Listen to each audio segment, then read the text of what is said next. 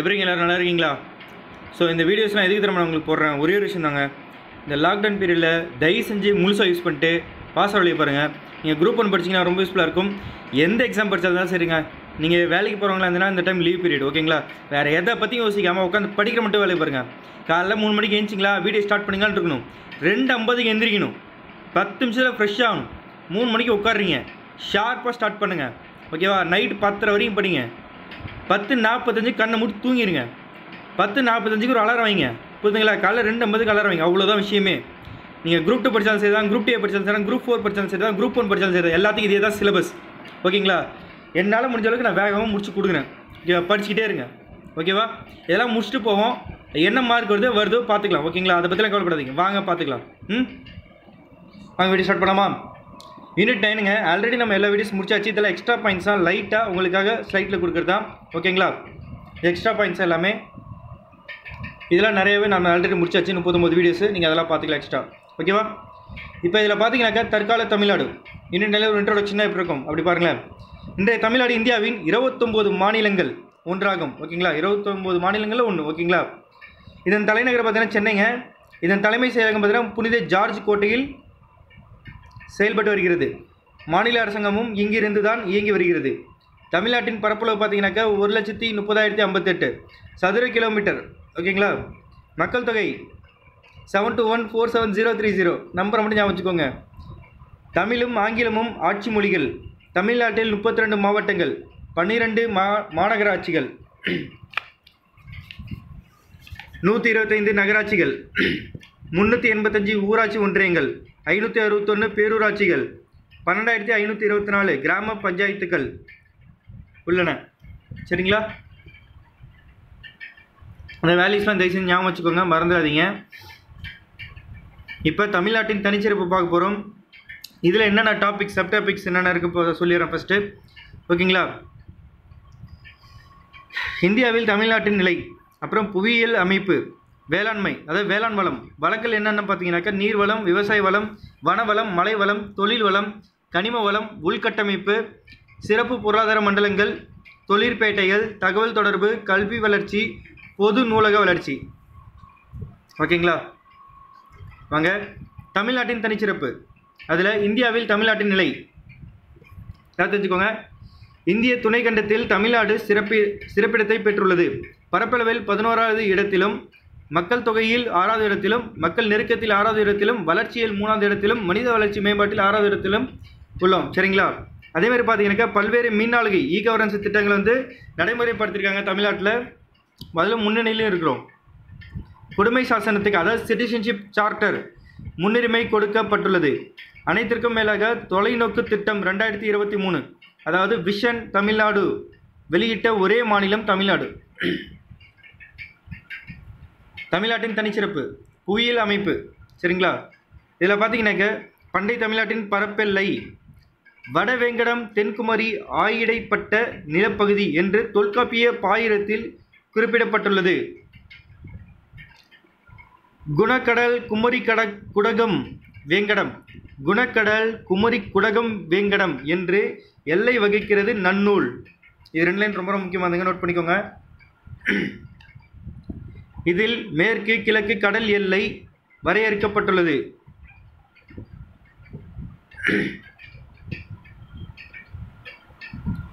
தற்கால தமிழ்நாடு மேற்கு மற்றும் வடமேற்கு வடமேற்கு பகுதிகளில் மேற்கு மலை தொடர்களாலும் கிழக்கு பகுதி வங் வங்கக்கடல் மற்றும் அதை ஒட்டியுள்ள கிழக்கு தொடர்ச்சி மலைகளாலும் தெற்கு பகுதி இந்திய பெருங்கடலாலும் சூழப்பட்டுள்ளது. எனவே தமிழ்நாடு அன்றிலிருந்து இன்று வரை மலை வளமும் கடல் வளமும் நிலவளமும் நீர்வளமும் பெற்ற இயற்கை நிலப்பகுதியாகும். சரிங்களா? ஸோ இதில் எதாவது நீங்கள் ஞாபகம் வச்சுக்கனாக்கா இந்த கிழக்கு வழக்கு அதெல்லாம் இருக்குல்ல அதெல்லாம் அழகாக பார்த்து வச்சுக்கோங்க. ஓகேவா இந்த பாயிண்ட்ஸ்லாம் அப்புறம் வேளாண் வளம் பார்க்க போகிறோம் அதில் ஃபஸ்ட்டு நீர்வளம் நீரின்றி அமையாத உலகு. இது வந்து திருக்குறள் வந்திருக்கும். உங்களுக்கே தெரியும். என்ன சொல்லிருக்காங்கனாக்க சங்க காலத்திலிருந்து இக்காலம் வரை நீர் ஆதாரத்தை நம்பி தமிழ்நாடு வேளாண்மை உள்ளது. ஓகேங்களா? ஆறுகளிலிருந்தும் அணைக்கற்களிலிருந்தும் நீர் கால்வாய்கள் வழியாக வயல்களுக்கு கொண்டு செல்லப்படுகிறது. எடுத்துக்காட்டாக வரலாற்று சிறப்புமிக்க கரிகாலன் கல்லணையை கால்வாய் மூலம் காவிரி ஆற்று படுகையின் டெல்டா பகுதி முழுவதும் பாசன வசதி பெறுகிறது. இதே போன்று மேட்டூர் அணை கால்வாயும் நீர் ஆதாரமாக உள்ளது. ஓகேங்களா? ஸோ அதாவது நீர் வளம்னு உங்களுக்கே ஜென்ரலாக தெரியும். ஓகேங்களா? நீர் மேலாண்மை சிறப்பாக இருப்பின் தமிழ்நாடு தன்னிறைவு பெற்ற நீர்வள பகுதியாக திகழும். அடுத்து விவசாய வளம். இதில் உங்களுக்கு தேவையான பயனாக்கா மக்கள் தொகையில் ஐம்பத்தாறு பர்சன்டேஜ் பேர் விவசாயம் தான் ப இது விவசாயம் தான் தொழிலாக பயன்படுத்திட்டு இருக்காங்க. ஓகேங்களா? பருவமழையை நம்பியே இருக்கிற விவசாயிகள் தான். சரிங்களா? ஸோ இதில் வந்து பார்த்தீங்கன்னாக்கா பெருசாக வேறு எதுவும் முக்கியமான பாயிண்ட்ஸ் இல்லை. ஆஹ், என்னென்ன பயிர்றங்க பயிரிடுறது என்னென்னலாம் கேட்பாங்க மேபி அதெல்லாம் தெரிஞ்சு வச்சுக்கோங்க. ஓகேவா? வனவளம் பார்த்தீங்கன்னாக்கா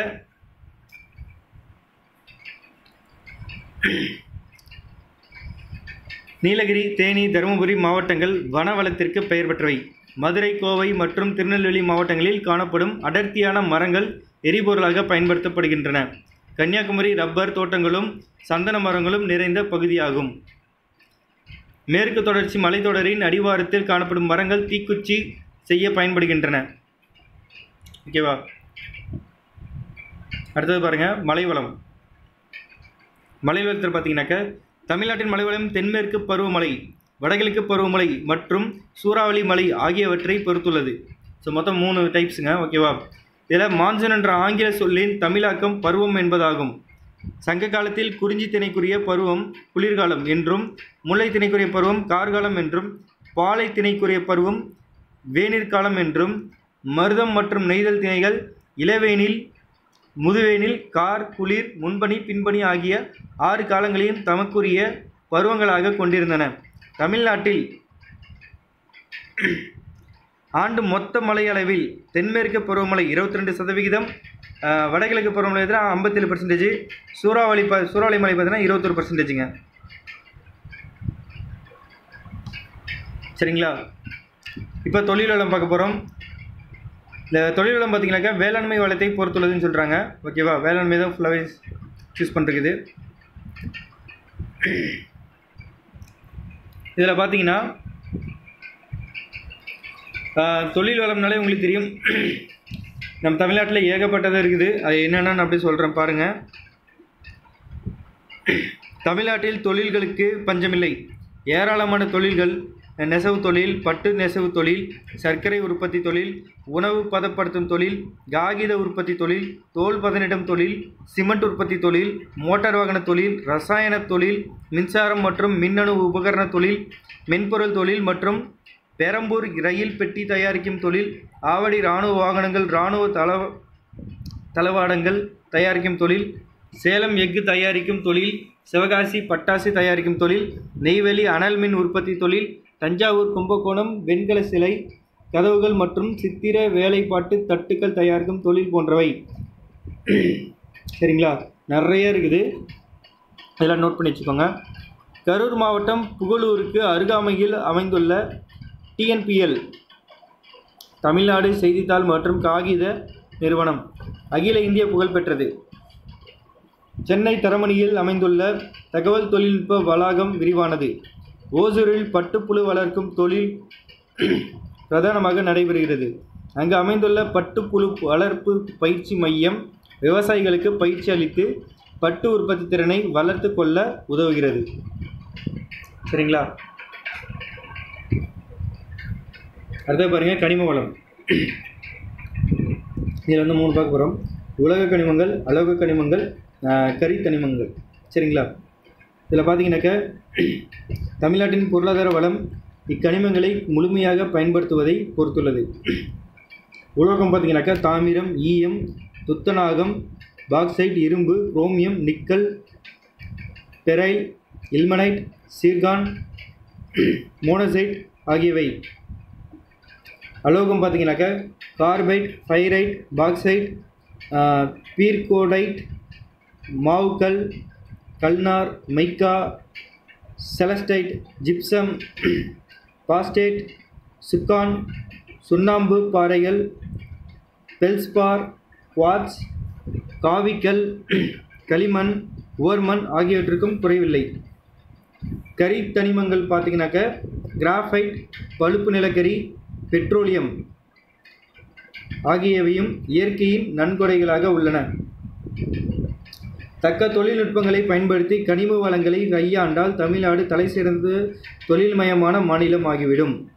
சரிங்களா? ஸோ இது ஃபுல் அண்ட் ஃபுல் எப்படின்னாக்கா அறிவியல் மனப்பான்மையோட நம்ம இதை யூஸ் பண்ணோம்னாக்கா கண்டிப்பாக நம்ம தமிழ்நாடு வேறு லெவலில் இருக்குன்னு சொல்கிறாங்க அதுதான். ஓகேங்களா? இப்போ உள்கட்டமைப்பை பற்றி பார்க்க போகிறோம் அதாவது இன்ஃப்ராஸ்ட்ரக்சர் சரிங்களா? அதாவது உறுதியான உள்கட்டமைப்பு இருந்தால் தான் எவ்வளோ பெரிய நம்மளுக்கு வேளாண்மையாக இருந்தாலும் சரி தான் தொழில் வளங்கள் இருந்தாலும் சரி தான் ஓகேங்களா? ஆனால் உறுதியான கட்டமைப்பு இருந்தால் மட்டும்தான் எல்லாமே பர்ஃபெக்டாக கொண்டு போக முடியும். ஓகேங்களா? அதாவது போக்குவரத்தாக இருக்கட்டும் தேசிய நெடுஞ்சாலையாக இருக்கட்டும் மாநில சாலையாக இருக்கட்டும் கிராம சாலையாக இருக்கட்டும் இல்லை மெட்ரோ ரயிலாக இருக்கட்டும் எதுவாக இருந்தாலும் சரி தான் விமான போக்குவரத்தாக இருந்தாலும் சரி தான் நீர்வழி போக்குவரத்தாக இருந்தாலும் சரி தான் துறைமுகங்களாக இருக்கட்டும் எல்லாமே ஓகேங்களா? இது எல்லாமே வந்து உள்கட்டமைப்பு ரொம்ப ரொம்ப முக்கியமானது. அடுத்தது பாருங்கள் தமிழ்நாட்டின் தனிச்சிறப்பில் பார்த்துட்ருக்குறோம். ஓகேங்களா? சிறப்பு பொருளாதார மண்டலங்கள் அதாவது ஸ்பெஷல் எக்கனாமிக் ஜோன் சொல்லுவாங்க. ஓகேங்களா? இதில் தமிழ்நாட்டின் சிறப்பு பொருளாதார மண்டலங்கள் ஆவன அப்படின்னு பார்த்தீங்கன்னா மொத்தம் ஏழு இருக்குது. சென்னை ஸ்ரீபெரும்புதூர் தொழில் பூங்கா இருங்காட்டு கோட்டை காலனி பூங்கா காஞ்சிபுரம் ஓரகடம் தொழில் வளர்ச்சி மையம் ராணிப்பேட்டை தோல்துறை சிறப்பு மண்டலம் பெருந்துறை பொறியியல் பொருட்கள் உற்பத்தி சிறப்பு மண்டலம் செய்யாறு மோட்டார் வாகனம் மற்றும் தானியங்கி உபகரணங்கள் உற்பத்தி சிறப்பு மண்டலம் கங்கை கொண்டான் போக்குவரத்து பொறியியல் உபகரணங்கள் சிறப்பு மண்டலம். சரிங்களா? இதில் பார்த்தீங்கன்னாக்கா நைன்டீன் செவன்ட்டி டூவில் பார்த்தீங்கன்னாக்கா தமிழ்நாட்டு பொதுத்துறை நிறுவனமான தொழில் மேம்பாட்டுக் கழகம் அதாவது state industries promotion corporation of Tamil Nadu SIPCOT அப்போ ஆரம்பித்தாங்க அதை. ஓகேங்களா? இப்போ தொழிற்பேட்டைகள் வந்துட்டோம். இதில் வந்து பார்த்தீங்கன்னாக்கா ஆற்றல் மிக்க கருவின்னு பார்த்தீங்கன்னாக்கா அரசாங்கம் அனைத்து வசதிகளையும் வசதிகளையும் செய்து கொடுத்து தொழில் முனைவோர்கள் தொழில் துவங்குவதற்கான இடத்தை குறிக்கும்.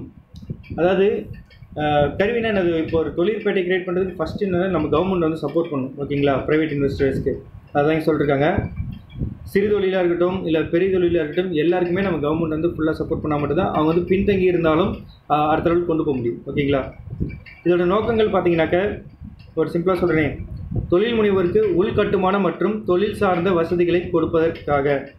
ஃபஸ்ட்டு தமிழ்நாட்டில் சிறு தொழில்களை ஊக்குவிக்கணும் மூணாவது பார்த்தீங்கன்னாக்கா பின்தங்கிய பகுதிகளிலும் சிறு தொழில்களை தூக்கணும் ஓகேங்களா பெரிய தொழில்களுக்கு தேவையான துணை பொருட்கள் உற்பத்தியை ஊக்குவிக்கணும்.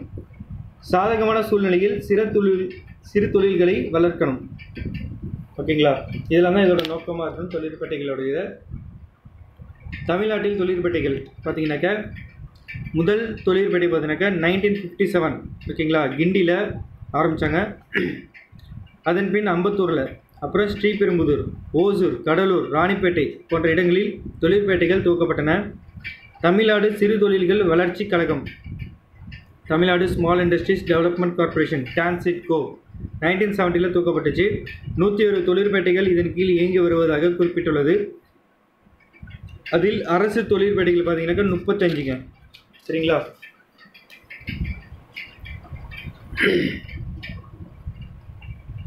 இதில் வந்து பார்த்தீங்கன்னாக்கா ஓகே. ஃப்யூச்சர் டெவலப்மெண்ட்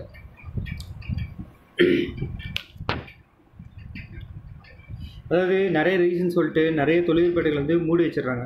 ஓகேங்களா முடங்கி கிடக்குதுன்னே சொல்லலாம். ஓகேங்களா அதனால் இவை தமிழ்நாடு அரசின் களத்தில் ஓகேங்களா கழுத்தில் கட்டப்பட்ட கற்களாயின அதாவது என்ன சொல்கிறதுனாக்கா தொழிற்பேட்டைகள் வந்து ஏதோ ஒரு ரீசனால் அதை வந்து மூடிட்டாங்கன்னு வச்சுக்கோங்களேன் அதாவது மிகப்பெரிய இன்வெஸ்ட்மெண்ட் வந்து வேஸ்ட் ஆகுது. ஓகேங்களா அந்த நில அந்த நிலத்தோட்ட ரேட்டாக இருக்கட்டும். ஈவன் அதில் வந்து ப்ராடக்ட் எதுவுமே டெவலப் ஆகலைனாக்கா அது எல்லாமே நஷ்டம் தான் ஓகேங்களா அதுதான் சொல்லியிருக்காங்க அதனால் எப்போதுமே அதை வந்து புதுப்பிக்கணும் சீரமைக்கணும். எப்போதுமே அதை மெயின்டெனன்ஸ் பண்ணிக்கிட்டே இருக்கணும். அதான் சொல்லியிருக்காங்க இருபது அல்லது அதற்கும் மேற்பட்ட இடைநிலை சிறு குறு நிறுவனங்கள் ஒன்று சேர்ந்து கூட்டமைப்பாகி அதாவது கார்ப்பரேட் புதிய தொழிற்பேட்டைகளை துவக்கலாம். அப்படின்னு சொல்லி சொல்லியிருக்காங்க ஓகேங்களா அல்லது இருக்கும் தொழிற்பேட்டையை அரசாங்க உதவியுடன் மறுசீரமைக்கலாம்.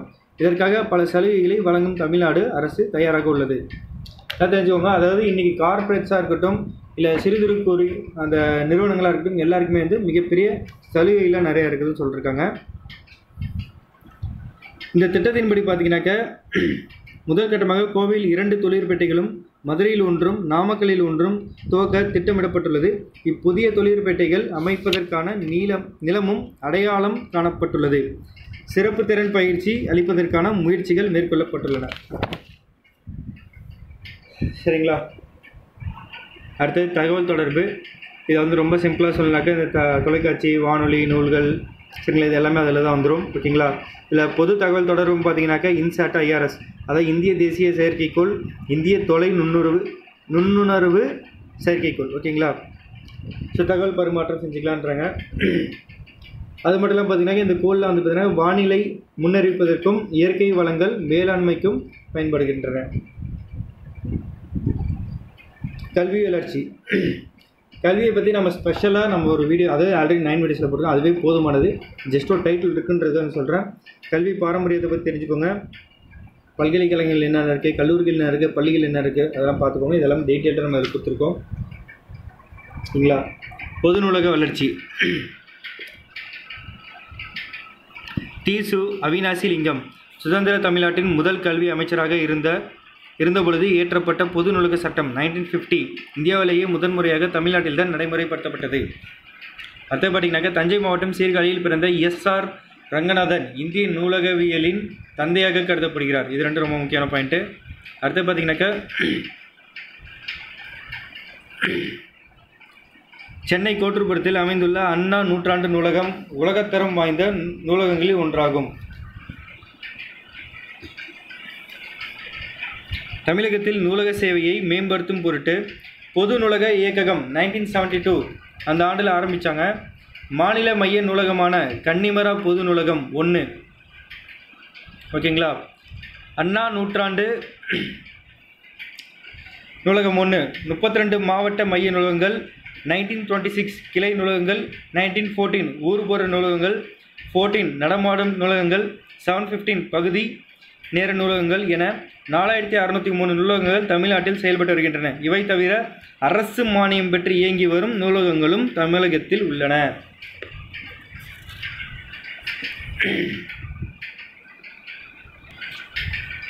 மாவட்ட நூலக அலுவலகம். தமிழகத்தில் உள்ள அனைத்து பொது நூலகங்களையும் பொது நூலக இயக்கத்தின் கீழ் ஒருங்கிணைத்து நிறைவான நூலக சேவையினை தமிழக மக்களுக்கு அளிக்கும் வகையில் ஒவ்வொரு மாவட்டத்திலும் மாவட்ட நூலக அலுவலர் தலைமையில் மாவட்ட நூலக அலுவலகம் செயல்படுகிறதுன்றாங்க ஓகேங்களா? அடுத்து மாவட்ட மைய நூலகங்களில் பார்த்தீங்கன்னாக்க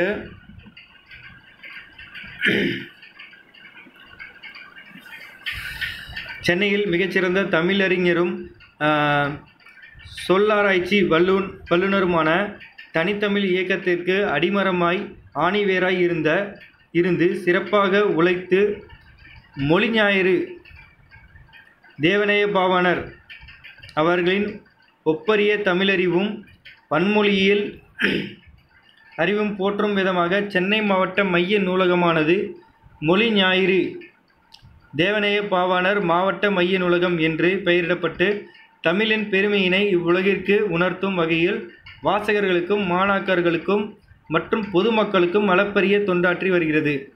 ஓகேங்களா? ஸோ இவ்வளோதான் ஃபேமிலி இந்த டாப்பிக்கில் ஓகேங்களா? ஸோ எல்லா டாபிக்ஸும் பார்த்துக்கோங்க. சேனலை சப்ஸ்கிரைப் பண்ணிக்கோங்க. ஓகேவா? ஸோ இன்னும் முடிஞ்ச அளவுக்கு வீடியோஸ்லாம் கம்ப்ளீட் பண்ண பார்க்குறேன். ஓகேவா? Bye family take care all the best